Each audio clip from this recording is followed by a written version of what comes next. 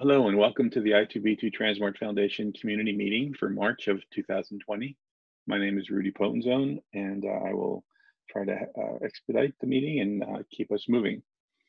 Um, today we have uh, an, an, interesting agenda. Hopefully you'll, uh, you'll find it uh, quite interesting. Um, but as usual, we'll start out with some foundation updates and news. So let me introduce Diane Keogh, the Managing Director of the Foundation. Diane? Hi, everyone. Thank you for joining um, for wherever you are. Probably uh, a lot of you are working from home, um, as am I. Um, I hope everyone is um, doing well um, today and, um, and staying healthy. So I'm going to run through the foundation update pretty quickly because I definitely want to get to the, the, the last agenda item. So Rudy can go to the next slide. Just a couple of things I want to mention you know, we're we're still hopeful that the June Harvard meeting uh, will take place. Um, please uh, feel free to, to register for that event. Um, in the event that it gets canceled, um, and we're hoping it won't, but in the event that it gets canceled, we are going to um, uh, we are going to set up a virtual meeting because I think it's uh, very important. So, um, next slide, Rudy. Um, I think we've seen this. We've got some pretty meaty agenda items uh, talking about the future of the foundation and, and a lot of um, exciting roadmap um, uh, information. Um, based on the uh, current events, we could actually um, be, be adding a few other talks to this uh, agenda, so um, it will be changing. So maybe you can go to the next slide. So that's the first day. The second day will be uh, our working groups and a, a half day ACT session. Um, next slide. So I wanted to mention one uh, additional thing, um, and you may have seen this in the, the monthly um, newsletter that came out last week. Um, springtime is the time for um, nominations for our board of directors. Um, we're really focusing on broadening the diversity of the board and, whoops, too. Sorry, I'm, it looks like I'm not sharing the slides, maybe. Oh, okay. I thought I was. No, it says I'm sharing. People can't see the slides, really? I got a message. You see them, right? Okay, I just wanted to check and make sure. Yeah. All right, keep going, sorry. All right, so we're, we're interested in broadening the diversity of the, of our board of directors. Um, so what we've decided to do is to open the nominations to the entire community. Um, in the past, it was it was really sent to the the hundred or so people that we have um, as official members. Um, but I think it's it's important that um, the whole community participate in this. Um, so the nominations are open now, um, and again, you can you can go to this link, or it is on the newsletter that we sent out. they are open now between now and April 17th. the uh, um, we currently have 13 members and there, there's there will be three open seats um, that we're trying to fill. Um, the board will actually elect the new the new board members, um, taking into account the diversity goal that we have. And the first meeting will take place um, hopefully in, in person on June um, the 11th. So next slide, Rudy. Here is a list of the current uh, board members um, with uh, three open seats. Um, the board uh, plays a really critical um, role in the foundation, helping us provide overall strategic direction. Um, they're also they also help in promoting and communicating the goals of the foundation, um, and they also play a critical role in helping us um, uh, provide uh, sponsorship funding or identify new sponsors. and they meet on a quarterly basis, and one of those meetings are in person. So please, if you have questions about this, you can reach out to me um, uh, separately or um, certainly um, nominate uh, people who you think would be interested or nominate yourself if you're interested. So next slide, Rudy. And I'll let you take it from here. Okay, thanks. Um, in terms of platform news, the I2B2 version 1.7.12 has been out. Uh, we're seeing uh, people uh, loading it and upgrading. So we encourage you to you're using I2B2, consider upgrading um, to the new version. Uh, there's a lot of information on the wiki as well. Uh, this has been a, a, community effort to bring a, a, number of pieces together. It shows the collaborators for this version. And uh, we anticipate this being the, the normal progression um, of things. So if you have plugins that you're working on and would like to contribute, um, please contact the I2B2 group. We are happy to, to announce that Transmart version 19 is about finished. It should be uh, ready hopefully by uh, the end of the week or early next week. Uh, and it will be out there. Uh, again, a lot of information on the, um, the wiki in terms of the, the content of the release. Uh, this is um, the next uh, continuing version um, from 16.3, which was released a year ago. And um, we encourage you if you're uh, looking to, to upgrade, this is a, you know, we think this is going to be a very strong version uh, for the for the platform. So um, as you may know, you should probably know, AMIA was canceled, but uh, we had a very interesting seminar planned on I2B2 uh, at that meeting. It was an all-day seminar, and uh, the organizers of that, uh, I think, are online, and uh, we're going to talk uh, about it. Um, Kavi and Jeff, are you there? Hey, this is Kavi. Okay. Uh, was, yeah, thanks for the slide. Sure. Um, so really the intent of the workshop uh, was to help uh, new users, the naive users, uh, to come in. We always have uh, advanced stuff that we discuss at the uh, annual meeting, uh, but uh, the intent over here was to really open it out to the community and start with the very basics. Uh, that is installing, really first beginning with how to query I2B2 using the web client to build cohorts, and then how to quickly install I2B2 and then to quickly load data. That was uh, kind of the main focus. Uh, but then also cover a lot of other, uh, uh introduce a lot of other work that is happening. Uh, if you look at the slide, you can see, uh, you know, we're thinking of how, talking a bit about the source code, how you know how it where it lives and how it is organized. some work on ontologies, how really to uh, you know run I2B2 on other data models like OMOP. How privacy is handled inside I2B2. Uh, we've been developing a REST API uh, to fetch data from I2B2, you know, read and write. Uh, there's uh, this new construct of derived concepts wherein you can insert algorithms inside I2B2 and I2B2 would uh, run them over the data and make available to you what we call as derived facts. Facts. Uh, there's been existing work on NLP, uh, which has been done previously. Uh, and uh, we've had we've had a proof of concept implementation of FHIR, and there are many other folks who have done FHIR implementations. Uh, there are many different FHIR implementations on I2B2, and other stuff like uh, you know temporal query. Not all of us are aware of how to use that. Multi-fact tables. Uh, this functionality is available in I2B2, but really, how do we deploy it and I mentioned about importing data. So we kind of have this listing of things, and you know uh, the interest over here was, uh, you know, as Diane w- wanted to know, like what is the community really interested in, and uh, uh so this remains to be our this will remain our agenda for the AMIA annual conference. Uh, we propose this there, uh, but I thought Diane felt that it's a good idea to find out how much of this makes sense for the for, for, for the cohort on this call.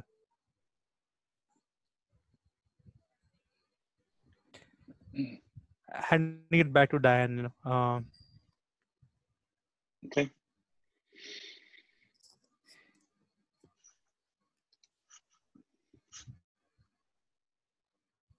So, is there any feedback? Is, is, there any feedback on this call? What, what what do people feel? Is this like a good agenda, or what? You know, are there any suggestions uh, anyone has on this on this group? And everyone, anybody could unmute their mic and, and talk here. Now, there's a question in the chat window. Is the seminar happening then online? No, um, it's not happening at the AMIA CRI. Yeah. Uh, the conference was canceled. We don't we don't have it. Yeah. So we've had some discussion uh, about, you know, sh- would this be a, a topic for like one of our training webinars, or should we have a special webinar to cover this? And I guess part of the question here is just trying to find out what interest there would be in such a in such a session, and, and would you be willing to to attend?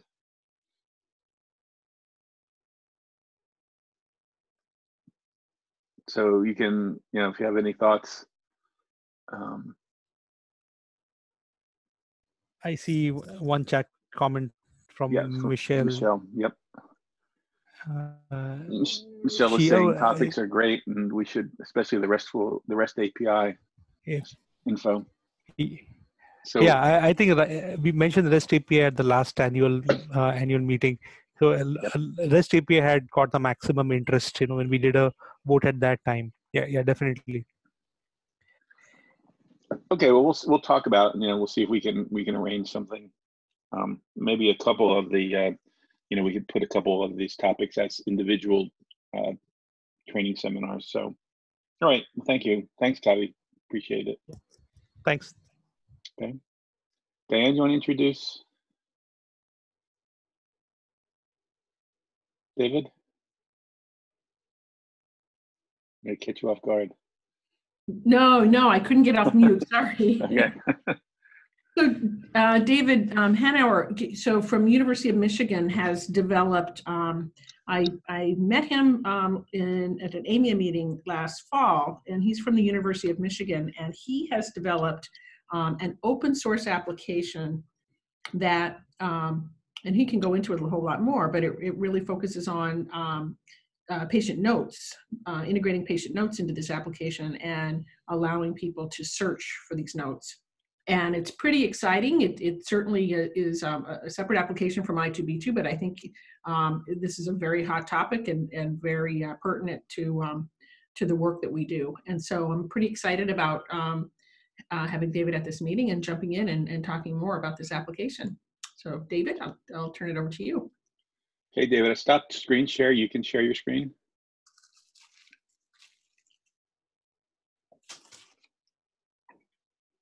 Okay. Can everybody see that? So hopefully I am unmuted and you can all hear me. Uh, thank you so much for giving me the opportunity to talk. And I know it's probably so difficult for all of you to to uh, even attend today. We're we're at home with three school age children trying to make everything work at the moment, but so far it's been okay. So what I'll talk to you today is about eMERSE, a, a search engine for the medical record. I'll start with some slides and then I'll move into a, a brief uh, live demonstration. Hopefully that will work, and then we can take some questions afterwards. Uh, the first thing Could is you, um, sorry, David, could you go to presentation mode to, just to make it a little bigger? do that. Perfect, thank Okay. you. So uh, I don't actually think I've. I, I think uh, I haven't linked to it yet, but these slides will be at uh, the link below. Um, so the, this link will be in all the slides. You don't need to copy it down now, and it sounds like you'll be making them available to people anyway. Uh, as I mentioned, sort of this is the uh, the roadmap for today. So first, what is eMERSE? Well, it's a search engine, kind of like Google, for free text medical record documents. Technically, it's an information retrieval system. Uh, it was designed to be simple to use, and it was designed to be a self-serve system, sort of in the way that I2B2 was meant to be designed to be uh, self-serve by, by researchers. It's a tool available at no cost. It has Apache 2.0 licensing. It does require local implementation, but I think that people who use I2B2 understand that because they've had to implement I2B2 themselves. And I think it's important to emphasize that picking the right tool for your research is very important. And oftentimes you do need multiple tools to get a job done. So I'm sure you all know this, but just very briefly, eMERSE is really meant for the unstructured or free text data. This is sort of the narrative notes that we find in the medical record that describe patient encounters, courses, etc. I2B2 Act is really for the structured data, the things that kind of fit into the Excel spreadsheets that um, sort of are more uh, things like white blood cell count, total cholesterol, demographics, etc. Diagnoses, billing codes. It has been estimated uh, that about 80% of EHR data are in the unstructured free text. Now it's hard to get exact numbers for this, but um, but that's sort of what people have estimated in the past. And I'm not going to go through all these, but these are just quotes from various research papers that you can look up yourselves. that basically uh, are just saying that when people have tried to only use structured data, they're often missing important details or not getting the nuance or context that they would if they were also using the uh, free text data as well. Well, one thing that eMERSE is not, and it's important to emphasize this, it's not a natural language processing tool or NLP. But sometimes full NLP might not always be needed, and uh, and I don't want to start any fights here. But NLP can often be hard to use or customize. Uh, it's not easy to take something out of the box and just get it working. You often need experts to help you get it working for a specific project. So there is sort of like a, a tug of war between these kind of concepts, and and again, it's sort of like picking the right tool. But I would I would sort of say that eMERSE is kind of like augmented intelligence. It doesn't do things automatically for you, but it will help you find things quickly so that you can then use your own brain and intelligence to interpret the context of how something appears in the note. NLP, of course, being artificial intelligence for the most part, where it's going to try to, uh, based on how it's been trained, uh, identify concepts and extract them uh, automatically without uh, oversight once it sort of gets running. But again, these are different tools, and depending on your use case, you may need one or the other or both. So one thing the eMERSE will allow you to do is find cohorts based on things mentioned in the notes. This could be diseases, drugs, symptoms, or really just anything that's mentioned in the notes. So it's perfect for finding things like diagnoses that don't have a specific ICD-10 code. So for example, leiomyosarcoma, a rare type of cancer, uh, you can see this ICD-10 code here, um, C49.6 leiomyosarcoma is one of the diagnoses that gets lumped into this code. But to actually know which ones truly have the leiomyosarcoma, you'd have to actually look at probably the notes themselves or pathology reports or other uh, details. Or for finding things like Bainbridge Roper syndrome, right? So this is a uh, Q87.0, which is a sort of collection, a grab bag of uh, different congenital malformations affecting the facial appearance, but it doesn't really narrow down to that specific syndrome. And there's hundreds of other disorders with no specific code, especially the rare ones. So if you're interested in working with cohorts, you could identify a cohort from within eMERSE itself. If you have a list of patients from what's even, let's say even an Excel spreadsheet, you could upload it, or you could technically import the list from another system such as I2B2. And then you have a list of patients that you can work with and you can have as many lists as you want. And each list, you can have up to 100,000 patients per list. So it's, it's pretty, pretty big that you can work with these lists. Another thing you can do uh, with eMERSE is you can highlight documents for chart review. So this is a human-driven chart review. It's not automatic, but when you can highlight the concepts in the notes, it really helps make finding things very easy. And then you can sort of, again, look at the context and decide if that's what you're looking for. eMERSE does support query expansion. It doesn't do it automatically, but if you give it a term, it can uh, expand it to other terms and then give you, the user, the option of things that you'd like to look for. So this is an example of if you search for vaping, it will expand to all these other things like JUUL pods and candy pen and who knows what of these other um, uh, kinds of things are. Uh, I do want to talk about this briefly because people do ask about it a lot. So uh, with this query expansion, you can use what we call here our Emer synonyms, which I'll discuss in a little bit, or you can upload your own data set. This could be ICD-10 codes, human phenotype ontology, MeSH terms, all you have to do is just format it in a very simple format that we have put online, and then it would uh, work for all the users. The Emer synonyms themselves, this is a manually curated uh, data set built up over 12 years. Um, even though there's lots of automated tools that could sort of try to generate these things, I found that the uh, the human annotation really sort of makes it work really well. So this has many terms and phrases not found in the standard vocabularies, taxonomies, ontologies, or, or other resources but these things can be found in clinical notes. Um, our university is licensing this, um, but for pretty reasonable terms for academic centers.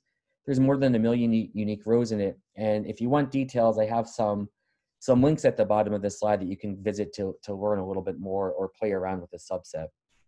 Uh, the kind of things that are in this synonym set include things like actual acronyms like CXR for chest x-ray, abbreviations, professional consumer terms like emesis and puking, many misspellings of words, uh, trade and generic drug names, chemo regimens, uh, word stems, uh, true synonyms like frigid and cold, phrasing variations like lido with epi or epicaine lidocaine or epi dash lidocaine because there's all these different variations. Uh, there's a fair number of these malapropisms or usage errors. So beast mass instead of breast mass or prostrate cancer instead of prostate cancer. uh, these kind of root word variations where people sort of don't quite remember the the uh, the right order of the words. So they sort of make up their own in a sense. So adenotonsillectomy versus tons, tonsilloadenoidectomy. Uh, various ways that hyphen words can be hyphenated, and this matters because we um, uh, we break up the words into their component pieces. Others idi- idioms like under the knife, and then just plain old neologisms that people have used like trabecularity versus the actual word trabeculation. So the kind of things that we have in eMERSE, at least at Michigan, are uh, just free text notes. These could be admission notes, history and physical, progress notes, path, radiology reports, and more. In our system, we have about two and a half million patients, about 170 million notes dating back to around 1995, and it gets updated daily. So we have notes up through basically yesterday. Uh, there's about a one day delay um, because we index once a day. What's not in eMERSE? Well, the structure data. So we don't have discrete lab values, vital signs, billing codes, things like that, because there are other tools such as I2B2 that exist for the structured data. A typical workflow of using eMERSE could be identifying an initial cohort which with a cohort discovery tool such as I2B2, or just doing a search within eMERSE where you're trying to find patients. Once you have that, you would then uh, abstract additional details using the highlights uh, feature within eMERSE, and then you would store your data in another system because eMERSE is not to, meant to be a data capture system, but tools like REDCap or others could be used to actually uh, store the, the data you're, you're extracting. So in my view, uh, and the reason I sort of wanted to reach out to your community in the first place is that I think I, eMERSE and I2B2 could really go together like many things that go together well, like chocolate and peanut butter and cookies and milk, and, and you, you can find your own analogy. Uh, but to explain this further, uh, just imagine some scenarios where, let's say, an I2B2 query, I2B2 could query eMERSE, which has this uh, Solr API, for a list of patients as additional criteria. So you might set up your uh, structured data, and then uh, maybe you're saying a, the note must contain some word or phrase. Uh, I2B2 can send a patient cohort to eMERSE. This actually has been done before, and I'll show you some screenshots from that. Or maybe eMERSE could eventually use I2B2 to narrow down the cohort using structured data such as demographics and diagnosis codes and other things. Uh, just briefly, eMERSE and I2B2 have been connected in the past. So one of our uh, amazing eMERSE developers a number of years ago had actually built an I2B2 plugin. And to show you how this works, and these are these are seven-year-old screenshots, so this may not look exactly like the current system, but should give you the idea is that um, we had run a query. Uh, it said it had found 285 patients. And then uh, we had uh, gone to the plugins. Uh, he had built something called eMERSE Export. You would drag your um, prior uh, data set that you found to where it says drop a patient set here. Then it would actually show you the patient set. A button would appear that said export patient set to eMERSE. You press that button, and then you've logged into eMERSE, which I'll show you shortly. And then this shows up basically as a patient list with the name that came from I2B2 the description said export from I2B2, and then uh, without really any more work, you can now start searching the actual uh, um, notes themselves from these patients, and then start looking at more details. So this was this was um, based on an ICD code. This was an ICD-9 code at the time that did not distinguish different kinds of animal bites. So to actually figure out what specific animal it was, we had to then search the notes, um, even though we started using uh, I2B2 as the initial cohort discovery tool, um, and then uh, dug in deeper with the, the nodes. So eMERSE is very fast, and I think it's important to emphasize this. I don't know how many people on this call use Epic versus other systems. Uh, we have Epic, and Clarity is sort of the reporting database. We did some searches to compare uh, one versus the other. So um, searching for ca cavernous hemangioma in Epic took about 14,000 seconds. That's hours. I don't know exactly how many hours. But eMERSE was two seconds, so about 7,000 times faster gray platelet syndrome about 7,500 times faster. And for this longer phrase, inferior inferior lingual lingular segment of the upper of the left upper lobe, um, it was still about 2,000 times faster. So with you know two to 10 seconds of response time, that basically enables real-time querying. So if you don't like your answer or your results, you can try it again and do it over and over again. So the, the speed really does make a difference. There's been about 358 papers and about 52 abstracts uh, that we know of so far that have um, used eMERSE in some way. The full list, if you want to see it, can be found at the link below at our main website, project-emerse.org. Where is eMERSE currently? Well, it's currently installed here at the University of Michigan It's running at the University of Cincinnati and uh, University of North Carolina at Chapel Hill. And then we have a number of sites that are working on installing it right now. Uh, this includes UCSF, University of Kentucky, Case Western, and uh, Columbia University Cancer Center. The future, and we have uh, done a fair amount of work for this already, is to network it in the concept similar to the way uh, I2B2 Act is working right now. So um, it has its own infrastructure, and a lot of it's been built. It's going through security reviews and, and uh, um, still needs some more interface work done. But the general idea is that there would be a hub um, that could then uh, query other sites and get aggregated counts back that are obfuscated, uh, but sort of similar to the way I2B2 works right now, uh, but with the free text data as the source data. For people interested in eMERSE, uh, as I mentioned before, local installation is required and you do need support of your IT, team. IT team. Uh, it is EHR agnostic. It runs independent of the EHR, and of course, you would need a way to extract documents to send to eMERSE if you wanted to get it running. Uh, for those interested in some of the technical under the hood details, it is uh, uh, based mainly on Java, JavaScript for the um, web front end. It is web browser based. it uses Apache Solr, Apache ActiveMQ, and it does use Oracle. At this point, is currently only Oracle for the database, but hopefully someday we'll be able to expand to others. If you're interested in test driving it, we do have an online demo I can give you an account for. We have videos on our website, and we can also send you a virtual machine that uh, you can sort of play around with, break, uh, and sort of see how it's all put together, which could actually be used for individual projects. So if you have like a set of, you know, 50,000 notes you want to load in for a specific project, you could use that virtual machine, even if your local institution didn't install it sort of at an enterprise level. Uh, our main website for this is project-emerse.org, where we have a user guide, we've got videos, lots of documentation, and other details. For any information about this, you can just contact me. It's Hanauer at umich.edu. So it's my last name at umich.edu. And then I do, of course, want to acknowledge all the support we've had for this, including uh, various parts of our own institution at Michigan, as, law, as well as the uh, NCI's um, Informatic Technology for Cancer Research um, uh, program, which has been really instrumental in helping us get this uh, disseminated to other sites. So I'll pause for a little bit to take any questions you have about this, and then I can move on to the, uh, the live demo.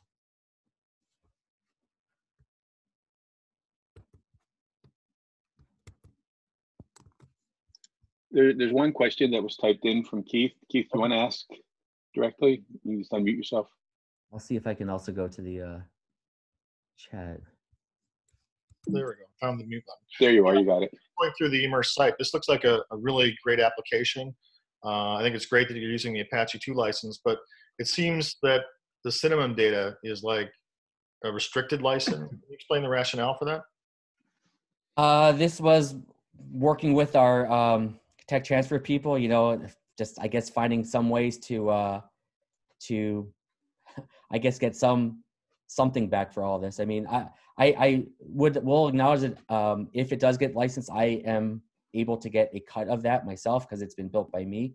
Um, but uh, the idea is that it's not necessary to run the system, so you can sort of load your own stuff in, and it's actually um, been many thousands of hours of work. So it's it's you know like many projects I've worked on, it's sort of like you do it, you run your study, and um, you know you can put your data set out there. This is sort of actually hours of work every single day. So um, to hand curate such a large list and to sort of find new new terms is is a tremendous amount of work.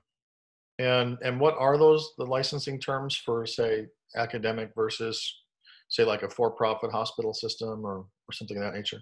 So uh, I am not sure exactly because I'm not the one who handles that, but my understanding was that uh, I think for academic, I'd have to look, but I think what they said was it was 2,500 for the first year, then 500 for subsequent years, and that was for enterprise level use. Okay, thanks. Uh, it's it's very impressive. Uh, I like it very much. Thanks for the work. Thank hey, you. David. David, this is Sean. This is really nice work um, that you've done here over many years. Um, you know, gearing up towards our uh, emergency here, uh, I'm wondering, you know, these kinds of deep text analysis tools might serve a unique purpose where they can really dive in and look at very specific things that people are going to want to know and have reported on. Mm-hmm. Um, I'm wondering, um, you know, you certainly having up to date data is going to be like, you know, really important part of that. Um, and you say in your um, um, installation, it's updated every day. Um, and is that, and one, is that through like, you know, HL7 messages that are coming to you or how is that happening exactly or the Clarity download? And two, do you know if the other sites, uh, South Carolina, uh, University of Cincinnati, um, are they also updating it once a day? So, so that's a good question. Um, I don't think the other sites are updating it once a day. That's really up to their own policies and how well they can access it. I will say that the way that we get our data is probably a bit unusual. Um, so, because we've had an HIE since we went live with Epic in the first place, what we've actually been doing is we've been sort of, um, and we send all of our documents to the HIE. We've actually been forking off um, one of those feeds and just taking the documents that way. At the same time, people could get their documents from Clarity because uh, Clarity is also updated once a day, so you could you could do an extract of documents from there. The there are some challenges though, um, and I don't want to spend too much time on this, but um, basically, all of the default Clarity data stores for free text they have stripped out the formatting, which means that a user will not see the document in the way that it actually looked on on the screen within Epic. Um, there are ways that you could actually um, set up another table within Clarity to actually get the um, the sort of the original source data, which is in I think uh, I believe it's RTF format, um, but it's does it doesn't seem to be done anywhere, um, even though it could be done. We are hmm. also working with the uh, University of Utah. Uh, they are working on um, some sort of FHIR enabled uh, ways to try to get documents uh, out of the system in sort of a, a, more bulk fashion to make it easier to do. Um, mm-hmm. So unfortunately, we don't really have any good solutions about document extraction. We just, you know, if you can get your documents out and you can load it into eMERSE, you could even do it in real time if you wanted, but we do it once, a, once every night. Sure. And from the HIE, does it look like HL7? It is HL7, yes. It is, okay. Yes. All right, that is excellent. Thank you very much, David. Sure. Okay. So is there a link to the source code anywhere on the website? Yeah, so this is one of those crazy things where, um, at least at this point, our hospital IT group, which is probably one of the most conservative groups in the country, uh, does not want to just make it publicly available because they're afraid that some hacker is going to get it and find a way in. So if you want the source code, email me and I'll send it to you. Um, I'm hoping at some point we can get it actually just posted for everybody. But um, all you have to do is send me an email. I'll send you the link to download it. Thanks. Okay, let me um, try to share my web browser now. Let's see here. Okay, so what I have now is um, I'm hoping you can see my web browser, which says eMERSE and a login screen. And what I'm going to do is I'm just going to walk you through this pretty quickly. I'm not going to go into all the details, but I just want to give you a sense of of how this this works. Um, what I'm showing you now is something that's running on a virtual machine off of my laptop. Uh, every patient name is fake. Every thing that you see that's clinical is fake. Well, the clinical stuff, there's no actual notes in here. These are all either PubMed abstracts or um, open uh, access case reports from some journals I found online. So just so you know, you're not seeing patient information. Okay, so I'm going to log in. Uh, when I log in, the very first thing that uh, people get to is what we call an attestation page. This is so that we can log the usage for each session. Uh, we have a free text box uh, if you can't find your reason there. Uh, we have some quick buttons if it's sort of a common use case among sort of hospital operations. And then we pull in data from our electronic IRB system so that each individual um, person would see their current valid IRB approved studies that they can select from so that when uh, if somebody ever asked what were they using it for then we can provide this uh, detail for them. So in this case i'll just click where it says um, demonstration because this system is not connected to an irb approved study. Okay. And what i have here is um, i have sort of the main screen where it says um, right now it's uh, going across all patients which are 10000 in this demo system all dates, which uh, for, you know, here it's like about 12 years or so of data. And then I'm on this quick terms thing, which is a, a text box, sort of like the way Google works. So just to show you quickly, I'm just gonna type in nephrectomy. So I type in nephrectomy, I click on the button called find patients. And very quickly, it goes across um, this demo data. There's, I think there's about 500,000 notes in this demo system. And it basically says it found 500 patients that match the criteria. What it does is it, for the, about the top 100 um, documents it found, it just shows me some little snippets of text so I can read the context and decide if that's what I'm looking for or not. We have a tab here called demographics, which just breaks down this cohort it found based on sex, current age, uh, race, and ethnicity. And then we have a trends feature here, which uh, again, since this is all just sort of random, it's not much of a trend, but this shows uh, date, um, uh, in this case by years, and then how many unique patients in each sort of, uh, in this case year, mention the word nephrectomy. So that gives us um, an example of how, how this can work. Um, I'm just gonna try to do something really quick here. Uh, let's see if this works. Um, yeah, so I don't know if you can see the screen. I just did uh, this yesterday. This is off of our production data set. We're actually searched for some variations of, um, you know, COVID-19, et cetera. And uh, you can see here that when, uh, hopefully you can see the screen, you know, when the first case was mentioned, it wasn't being, or diagnosed, it wasn't mentioned in all of our notes. And then around the time that it was actually diagnosed here in Michigan, it just started getting, you know, exploding. Now, these are not the actual number of cases because this is just mentioned in the notes. And this does sort of I don't think we're, sorry, David, I don't think we're seeing that graph. Oh, you don't see it? We're Um, seeing the old one, yeah.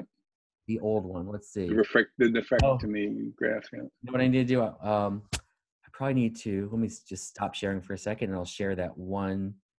Yeah. Let's see here. window Okay, maybe. sorry, there we go. Yeah, there Uh, you go.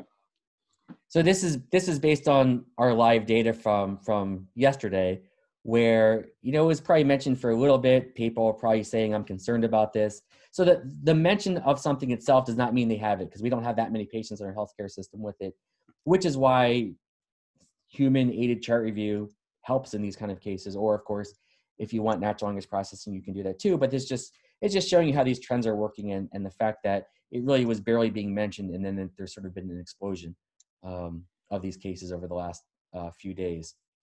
And uh, um, now it goes down towards the end on, on March 14th. This may be because uh, for our eMERSE system, we don't put in notes unless they've been signed. So if they're uh, interim notes, we don't we don't bring them in. And it also may be just that people are starting to stay away who don't really need to uh, be coming in. So it may be for that reason as well. I don't know, but this is just to kind of show, you know, you can get these sort of trend features on on pretty uh, up to date data. Okay, let me go back to the other screen again. Let's see here. Okay, so let's see. So hopefully you all are back on the, the other system I was on. Yes, looks fine. So what I'm gonna do now is I'm gonna go back to terms. I'm gonna add another term since I'm still in this find patient mode. Nephrectomy hematuria, find patients. What this is doing right now is that um, because I'm in the find patients mode, and I'm not gonna get into all the details of how this works, but by default, uh, especially if the terms are different colors, it's basically an N. So find all patients that have nephrectomy and hematuria in their notes together.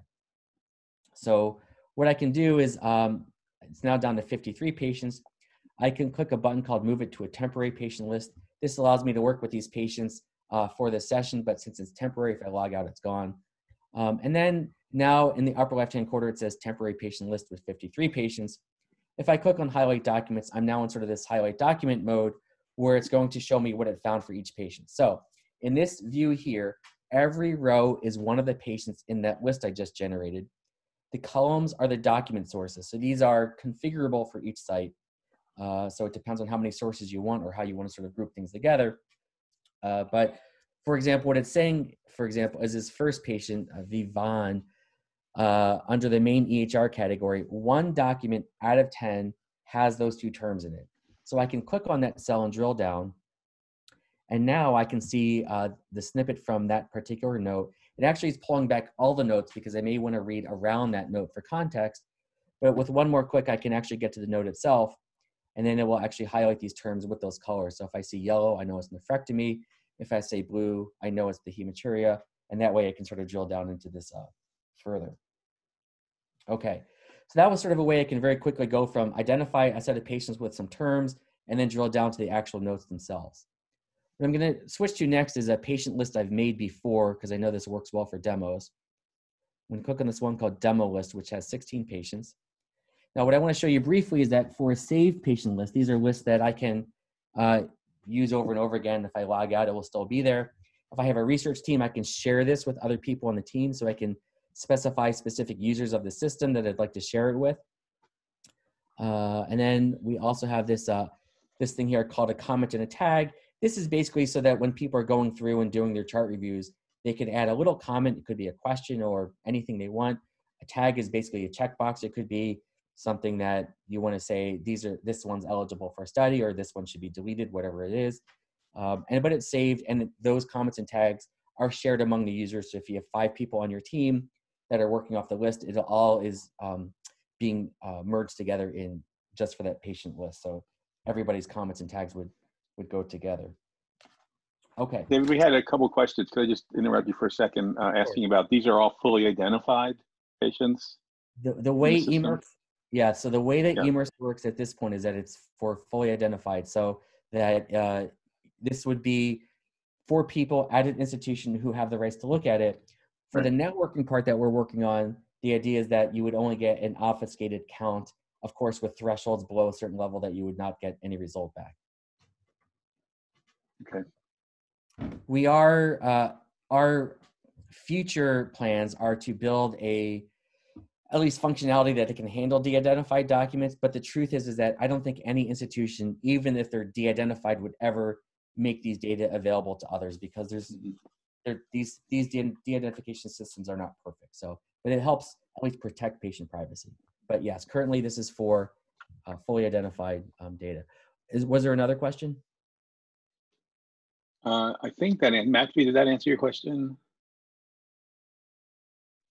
Uh, yes, yes, thank you very much. Okay, Uh, super, uh, thank you. to the to, to the last comment, I don't I don't know if I agree. Actually, uh, we're pushing very hard at TriNetX to do something uh, very similar to what you're doing. I absolutely love the demo. Uh, the, uh, the the idea the idea is great, just great. Thank you.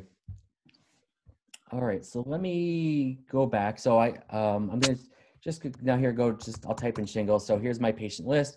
I can see where shingles is within a click and a click. Now I'm in that note and I can see exactly where this uh, is, you know, down below where it says, you know, shingles on his trunk. I can in a whole bunch of terms. So I can do shingles. I can do uh, reflux. I can do the phrase mitral valve prolapse, uh, seizures, CI seizures, Lasix, bowel obstruction, whole bunch of terms, cancer, hepat- hepatitis, lymphocytes, treatment, highlight documents. Now, before I press the highlight documents, since I'm in this mode where it's a known set of patients, these are now sort of or, so it's shingles or reflux or the phrase mitral valve prolapse. It's just going to highlight whatever it finds anywhere. You can see here that this table is now much more densely populated. We have sort of like a heat map, so the darker the color, it just found more documents, so it gives you a sense of that it found more information. But when you have this many terms, what I really like is um, what we call a mosaic view, which is what it does here is it actually matches up the colors in each cell with the colors of the terms so that you can very quickly see what it found. So for example, that first patient, Gabriel Dudley in main EHR, I see dark blue, so I know cancer appears there. I see a green, so it looks like maybe the word treatment. And of course, now I can see these things in their notes. So that way, with a very quick high level overview, if I want to find where Lasix appears, all I need to do is find that sort of pinkish magenta color. Scroll down, scroll down. It's got to be here somewhere. Oh, is it not here? Oh, no, here it is. I missed it. Here's Lasix. Boom, boom. Now I'm in the document with Lasix. So it's a very quick way to be able to sort of find things uh, very quickly and easily. Um, I don't want to get into it now, but we do have a way to do um, some wildcard searching. So if you don't know the word ending, you can do a, use a little asterisk for wildcards. Um, if you want to do a case sensitive match, you can. So for things like ALL for acute lymphoblastic leukemia, you can say only search for the capitalized ALL because by default the searches are case insensitive. Um, I do want to show you how this um, uh, um, the synonyms works in this case. So if, if I search for liver cancer, I can see this in just one place. Uh, but if I click on the term, it's going to let me um, have more options here. Um, I have full control, so I can de-highlight them and sort of pick what I want.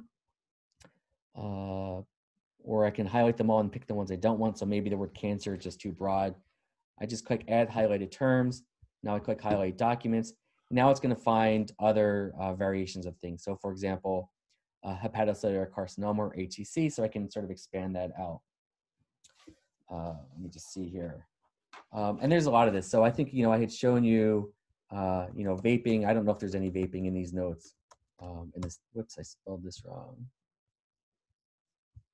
Terms.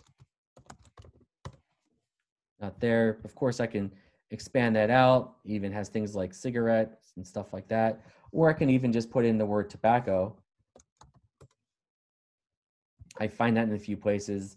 Uh, I expand this out. You can see a whole lot of different terms related to tobacco, um, including some of these spelling errors at the bottom. In this case, I'll just click add highlighted terms. I'll throw them all in there, choose highlight documents, and now I'll probably find uh, a bunch of other things that um, I might have missed otherwise. So for example, here we have smoking status, pack years, um, you know, smoker, smoking status, etc.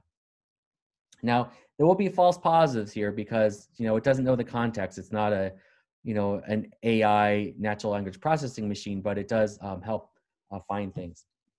Now, I do want to show you briefly that um, something that we actually don't have running here, but could be done. I've just done it for a demonstration, which is um, you can take scan documents and then um, uh, you can then search those scan documents if you run OCR or optical character recognition on that. So here we have some scanned PDFs where I'm looking for Quest Diagnostics, and then I have a link to the original PDF, and that way, you know, it has found, I don't know if you can see this or not because um, of the way that the browser is working. Let me just share this screen really quick. Share screen. Um, here we go. Because it opened up in a new window, but this is a scanned document where the OCR found Quest Diagnostics in the notes. So that's a way that you can actually search um, uh, this, this information as well. Let me go back into the main thing here, share screen and back. Okay.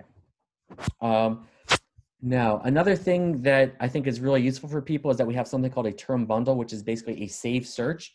Um, this is a way that you can um, reuse a search, you can share it with people in your research team so you're all standardized. And people who have published have actually published these sort of term lists um, in their appendices to help with reproducibility. But to show you how this works, for example, I have one here called exercise that I made. It's as simple as clicking on it, click uh, highlight documents, and now I can find, whoops, I clicked on the wrong button. I'm going too fast.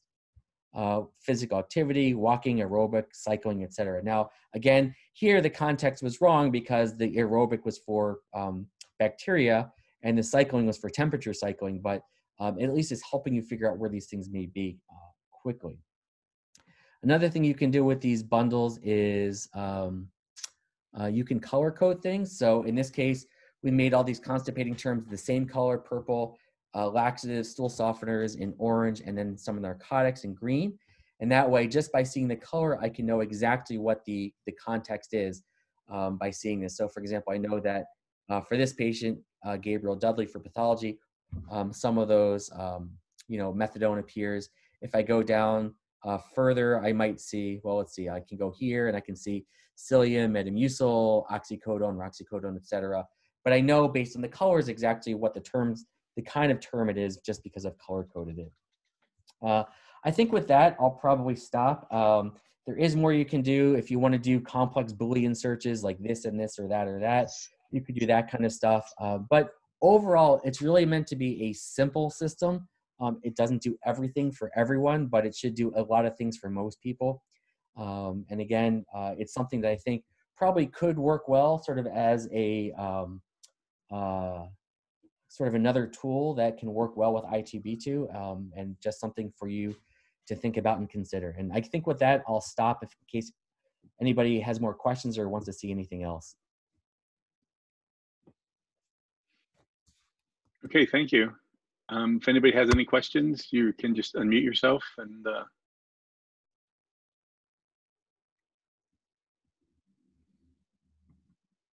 or if you'd like to type it into the chat window, that's fine.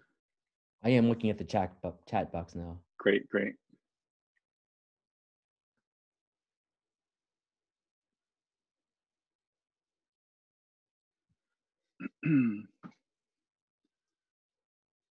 Okay. Well, thank you. I think it was an excellent demo. I think very interesting system that uh, everyone, I'm sure, will come back and review the uh, the recording. Great. Well, thank you so much. Thanks and again, if, if anybody has more questions, you can just email me privately. If you would like um, uh, to have the source code, I can send you that. I can send you the virtual machine with things running on it. Or if you'd like another demonstration for people in your own group or your own institution, just let me know and we can set up something similar for, for them as well. Thank you very much. Thank you. Uh, Diane, any closing remarks? I just wanted to um, thank uh, David very much for the um, the presentation. I think this is pretty exciting, um, and and also Kavi for for uh, even though the AMIA was canceled, I'm sure that was going to be a great um, session. So I'm looking forward to having some some additional uh, maybe workshops and things um, as part of the foundation. So it's wonderful. So I just wanted to to say, you know, everybody uh, stay safe, wash your hands, all that kind of stuff. And um, we will um, talk to you next month.